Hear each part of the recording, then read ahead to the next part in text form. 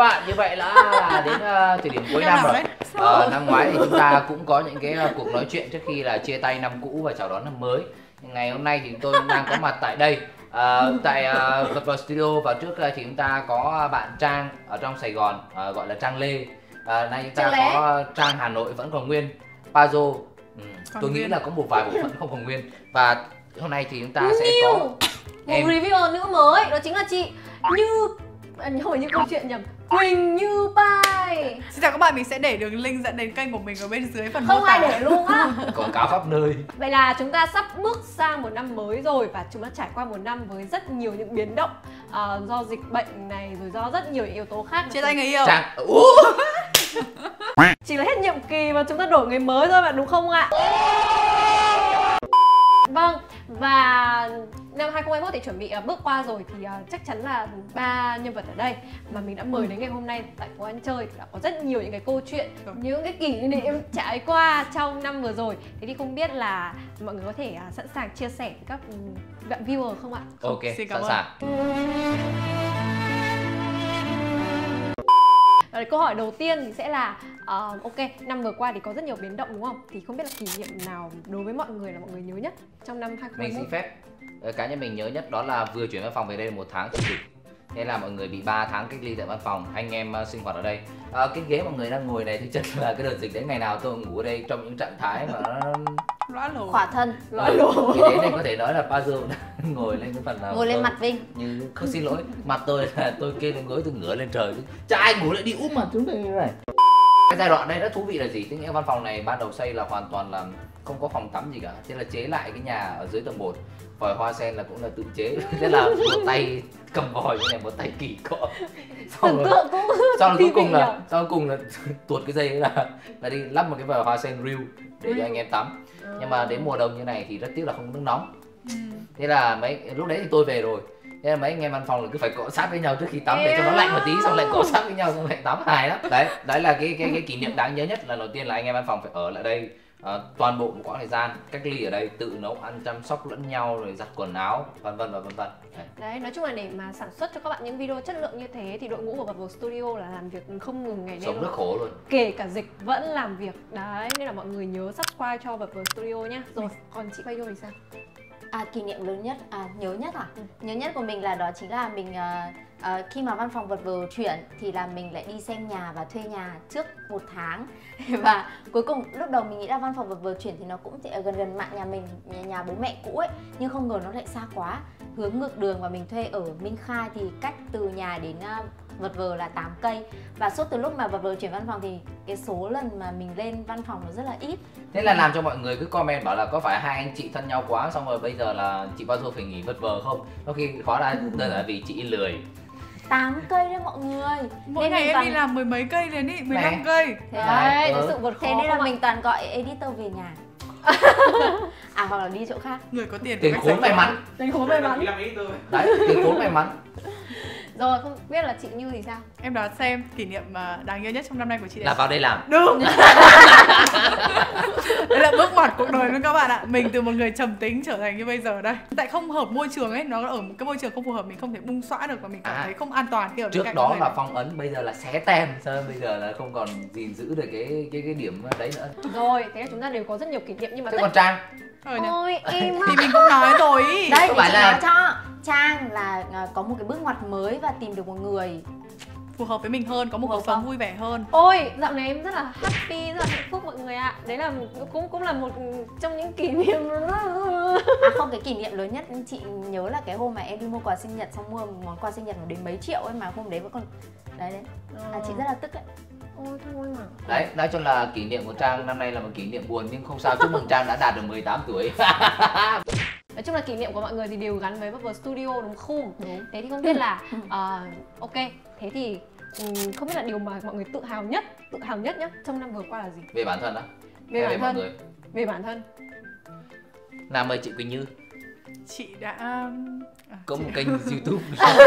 Thật ra không phải à, Điều chị tự hào nhất trong năm vừa qua là chị đã dám bước qua vùng an toàn của bản thân mình Ừm, Đấy là một điều xuất sắc đấy. Không không dùng bảo làm hộ được. nữa. Là Bước qua vùng an toàn là ngày trước Bây giờ em dám làm những cái việc mà ngày trước em không dám làm. Ừ. Ví dụ đi. Làm ở đây cũng là một việc mà em không nghĩ tới bởi vì em là một cái lĩnh vực em chưa bao giờ làm và rất là khó và có rất là nhiều thử thách mới. Đúng rồi. Xong rồi à, tiếp tục làm kênh youtube của mình và đúng ra đúng ra nếu như em làm một mình chắc bây giờ em không làm nữa. Mà ở đây có mọi người đốc thúc em xong em làm tiếp làm tiếp. Đấy. Chị Pazzo sao? Tự hào nhất về bản thân năm nay là gì? Tự hào nhất về bản thân năm nay là à, đã cuối cùng ờ, từng này tuổi đầu cũng đã ra ở riêng rồi. ờ đúng rồi chúc mừng chị Pazzo và nuôi thêm được một con chó nữa. Tổng cộng mình mươi- có hai con mèo và một con chó nhưng mà này thắc mắc là bây giờ ăn uống với giặt quần áo có tự làm hay không? Này hai Vâng, tách vâng. hai tách hai lên. Công nghệ 4.0 Đúng. Ừm, giặt quần áo chúng mình có máy giặt. Máy giặt AI đổ nước xả. Rồi nhưng mà ăn uống thì thế tháng nào ấy. quan trọng là khoản đấy? Ăn uống tự ăn. Thích thì nấu còn không thích thì gọi đồ có. về. Ồ đúng. À mình đã có khoảng 3 tháng ăn ít clean và bây giờ sau Wow. khi mà bận quá thì mình không ít clean nữa. Bây giờ mình ít clean một cách ăn sạch mọi thứ sạch đĩa luôn vậy Đúng, đã sạch đĩa luôn. Còn Trang điều gì tự hào nhất năm nay? 18 Tự hào tuổi. nhất, đúng rồi đầu tiên là em 18 tuổi này em đỗ đại học trường mà em mong muốn ngành mà em mong muốn. Đấy là một điều em rất tự hào trong năm nay rồi. Quên và tháng năm nay nhá em thống kê ra là năm nay em đã kiếm được hơn 100 triệu. Đấy là một điều em rất và điều tự hào nhất là Trang cuối cùng đã đi được xe máy các bạn ạ. Vừa mới bắt chốt xong. Đấy. Mình còn thiếu một điều tự hào năm nay mình được hai cái học bổng Ô, xuất sắc quá. Mặc dù là vua tiếng Việt thì fail lòi ra Nhưng mà nói chung là học sinh viên trường báo thì vẫn được học bổng. Rồi không biết anh uh, Vinh Cười nhiều nhất ở đây đấy. Mình tự hào nhất à, năm nay à, đó là cái Tuyển- như mình là mình đã chuyển những cái vị trí rất là phù hợp đúng không? Cái cái giai đoạn đầu là đang ở khâm thiên xong rồi quyết định chuyển ra đây thì nó cũng như kiểu là duyên số vừa chuyển ra đây phát thì bị cách ly thì mọi người cơ hội làm chứ nếu bên khâm thiên sẽ không bao giờ làm được như thế. Bởi vì làm gì có chỗ tắm rửa ăn uống cho mọi người ở lại khâm thiên mà làm đúng không? Ừ, cái cái cái cái cái quãng thời gian mà mình đưa ra những quyết định nó rất là chính xác đúng lúc đúng chỗ. Đấy, mình tự hào về những quyết định của bản thân mình là mình không phải là một người đi quá vội vàng và mạo hiểm nhưng mà thường những gì mình làm thì nó khá là chính xác thật ra năm nay là mình thất vọng về bản thân nhiều hơn là tự hào và mình hy vọng năm sau ờ, khi mà các bạn phải like subscribe chia sẻ nhiều hơn ủng hộ video cho bọn mình đường đấy cho bọn mình kiếm tiền sống qua ngày làm sao vượt qua được lúc khó khăn như thế này thì để mình có động lực để mình làm tốt hơn nữa. Bởi vì năm nay mình cảm thấy không hài lòng những gì mình làm với cả cả năm trước cũng được và hy vọng 2022 mình sẽ làm được tốt hơn những gì mà năm ngoái mình đã làm và hai năm trước mình chưa làm. Đấy Và đang nói đến những cái mà anh Vinh bảo là anh Vinh không làm ừ, anh Vinh hối hận đúng không? Không phải hối hận mà kiểu nuối tiếc à? Thì bây giờ um, mình sẽ bây giờ em sẽ hỏi mọi người xem là điều gì mọi người nuối tiếc trong năm vừa qua? Câu số 3 câu số 3 vâng mời chị Như. Nuối tiếc á, nuối tiếc là chị cảm thấy 20 tuổi nó là một cái mốc gì đấy nó phải rất là sung sức đúng không? Nhưng mà chúng mình ở nhà nửa năm vì dịch. Có rất nhiều thứ không làm được trì trệ vì dịch Có rất nhiều thứ chưa thử được. Mình muốn đi du lịch nhiều hơn Muốn ờ, được thử nhiều thứ hơn. Và tự nhiên kiểu cuộc đời của mình nó bị nhấn nút tạm dừng ấy. Thế Ừ. xong một nửa năm sau nó mới bấm tiếp Nó có có nhiều thứ để tiếc các bạn. Đối với mình thế nói chung là mình thấy um, cảm thấy thời gian của hai năm dịch trôi qua nhanh quá. Ví dụ như kiểu cái việc đến Tết này nó trôi qua cực kỳ nhanh. Mình cảm thấy là Buồn. mọi thứ nó cứ bị mình cứ định làm cái gì đó nó sẽ bị hoãn lại vì một cái lý do. Xong rồi cứ muốn phát triển thêm thì nó bị hoãn lại vì rất nhiều cái lý do từ khách quan và chủ quan Ờ, mọi thứ nó không thực sự như mong muốn của mình lắm.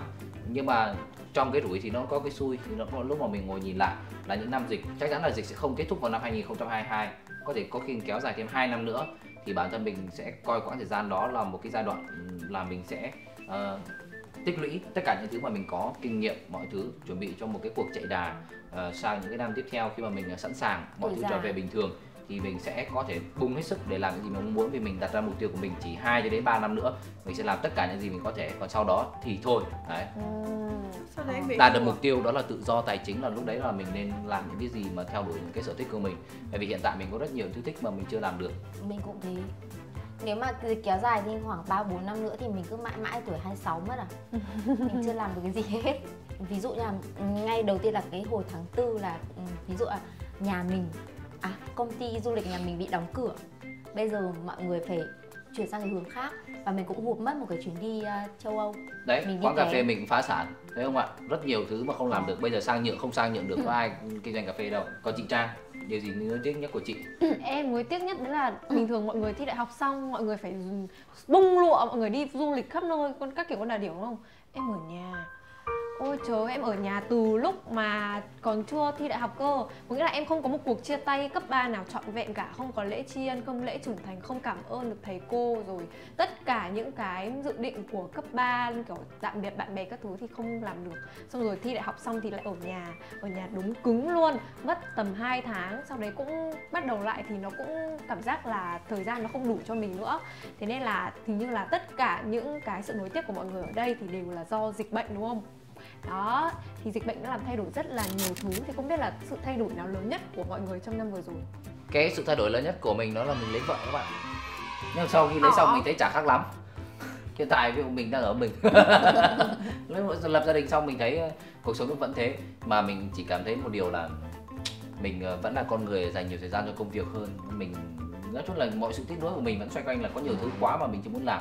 Nhưng thực ra mình thấy lập gia đình xong nó không không ảnh hưởng đến cái uh, uh, lối sống cuộc đời hay là mọi thứ của mình lắm. Tại vì thực ra là nhiều người bảo rằng lập gia đình xong bị thay đổi 360 độ mọi người bị xoay xoay chuyển rất nhanh. Nhưng có thể là do các bạn kiểu là yêu nhau chưa lâu xong rồi cưới nhau thì nó bị như thế. Thật ra những người mà ở bên nhau lâu quá rồi thì cảm giác nó vẫn vậy thôi không thay đổi nhiều lắm.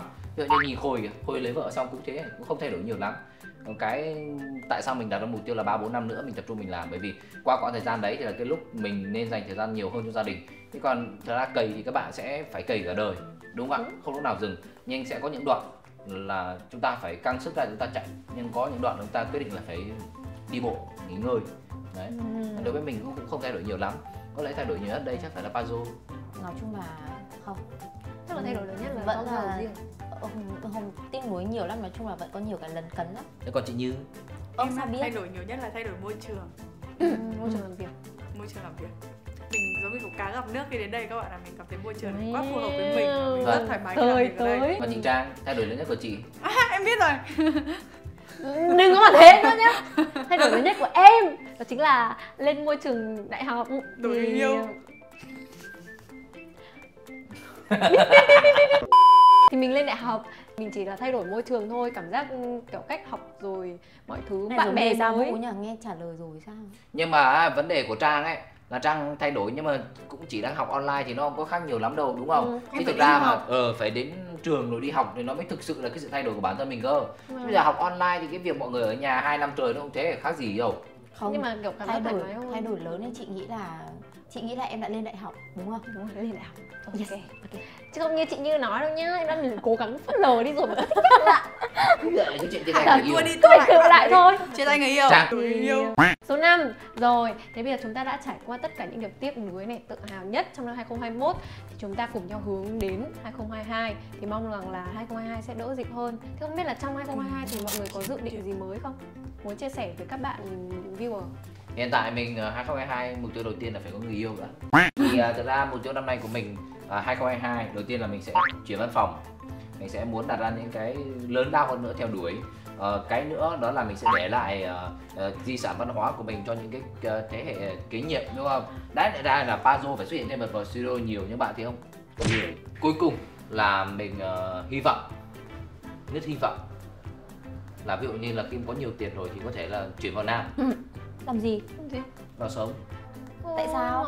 tất nhiên là không sống hẳn. Nhưng mà một thích quãng thời gian ờ, thích bohe mình bohe ờ, nghe mình thấy rằng là mình còn một môi trường ở đấy là mình chưa chưa chưa chưa được trải nghiệm. Tại vì thực tế ra trong Sài Gòn vẫn là một môi trường tốt nhất để phát triển cho cái công việc này.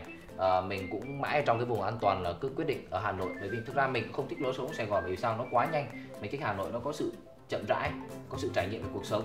Nhưng mà đó thì mình đặt ra mục tiêu còn 2 đến 3 năm nữa thì mình sẽ dành thời gian một quãng thời gian ít nhất là nửa năm mình trải nghiệm cuộc sống trong đó mình làm việc trong đó để làm sao nó có thể mà tận dụng tối đa được những gì mà mình đang còn. Còn sau đó mà mình lại quay trở về với những cái gì mà mình đã xây dựng từ xưa đến nay thế thôi. Chứ còn mình mãi mà trong một cái lối sống như này mình cảm thấy nó Đúng. khá là chán rồi. Em ủng hộ, em sẽ trở thành giám đốc và một studio tạm thời. Còn chị Pazzo năm nay chị làm gì? Chị nói tôi nghe xem. Năm sau á năm sau mình sẽ quyết định là làm những cái mà mình chưa chưa làm được trong năm nay. Ví dụ làm ví vợ dụ không phải. Ví dụ như mình muốn lập một cái group mà suốt từ ờ, đầu năm ngoái đến đầu năm, đến cuối năm nay. Ờ đúng rồi. Đầu năm nay đến cuối năm nay mình vẫn chưa làm xong. Mình sẽ chăm làm tiktok hơn Ừ. và mình sẽ phân bổ thời gian hợp lý hơn ờ, review cũng nhanh hơn. Và mình ờ, sẽ um, sửa một cái tật là này nhưng mà thật ra ngày xưa mình đi làm hay đi học ấy, thì á toàn kiểu nó rất là gần nhà thôi mình đi chỉ có mỗi 5 phút thôi nên là ở vật vờ. Chả hiểu sao hồi trước ở công thiên đang gần như thế bây giờ chuyển sang này thôi mình sẽ vượt qua cái khoảng cách địa lý đấy. Nhưng mà nên là dù vật vờ có chuyển sang Hà Đông thì mình cũng sẽ chuyển nhà theo vật vờ để mình đi làm gần hơn. Wow, Nên là mình sẽ làm văn, à, lên văn phòng hơn mình hứa đấy. Rồi lúc đấy mà kia mà không không không có máy ra rồi rồi chắc. ok. Nào chị như. Mục tiêu năm sau. Có thể đừng chuyển văn phòng xa quá đâu có đang em đang còn đi học. Xa nữa là là xa lắm 20 cây đấy. Mục tiêu đầu tiên của em trong năm tới sẽ là kênh riêng của em sẽ cố gắng đạt được 50.000 sub mục tiêu thứ hai là ở ngôi nhà chung của chúng ta vật vờ studio em sẽ muốn à, trở thành một người nhanh nhạy hơn khi lên vật vờ này. À, có thể truyền đạt một cách dễ hiểu hơn cho các bạn. Rồi à, em sẽ không mất quá nhiều thời gian để khi cầm một cái sản phẩm lên cả một tuần sau em mới làm xong mà em có thể làm ngay hoặc là một hai ngày sau là làm xong chẳng hạn. Nói chung là em sẽ cố gắng hơn nữa và cố gắng săn được thêm một vài cái học bổng ở trường học viện X.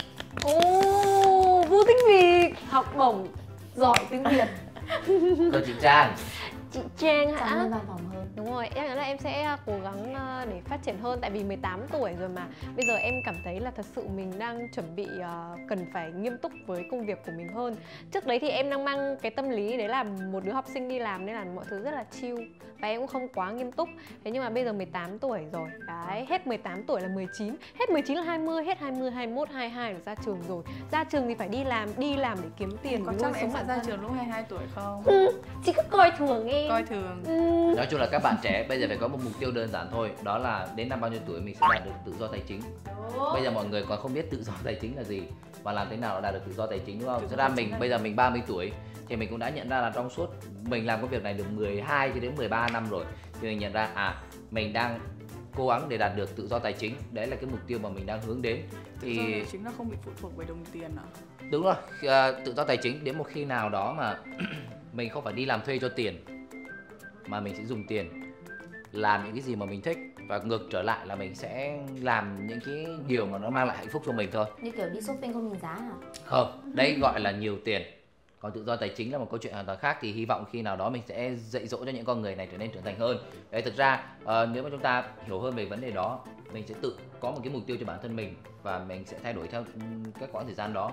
Còn bây giờ thực ra mọi người không có một suy nghĩ gì. Thực ra ngay bây giờ tiền nhá hỏi các bạn có tiền các bạn phân bổ nguồn tiền mình như thế nào 30% vào việc tiêu dùng, bao nhiêu phần trăm vào việc ờ, để nâng cao cái trí tuệ của bản thân, đầu tư cho bản thân, 30% để mà đầu tư. Các bạn còn chả biết, chỉ biết tiền về xong tiêu xài thế thôi. Mọi người chả biết dùng tiền như nào cho hợp lý đúng không ạ?